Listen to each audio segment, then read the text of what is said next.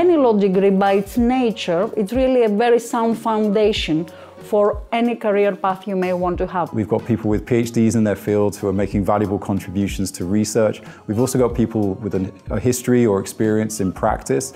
Our head of department uh, was previously a partner at a firm. So we really think that we've got the perfect blend of academia and also expertise in practice. Kingston University has won a number of student competitions, so the Jessup Moot in international law, for instance. Only very recently, our students were traveling for the uh, Space Moot competition, so very much uh, on the front line of developments. We really value what goes on outside of the classroom as well as what happens inside the classroom. We offer a lot of visits to uh, the courts. That's the beauty of being part of London, of course.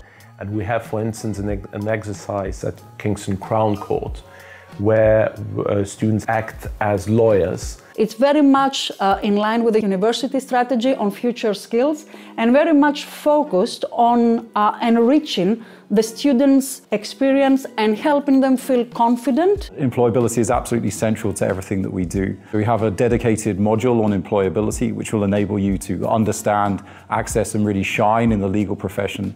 We are so proud and it fills us with huge uh, enjoyment, of course, of what many of our students have achieved. People go into government, other people have gone into charitable foundations. The most um, reputed uh, career path is the bar, and quite a number of our students also become solicitors. One of the students ended up working for a charity which won the Nobel Prize, so students really go on to do amazing things.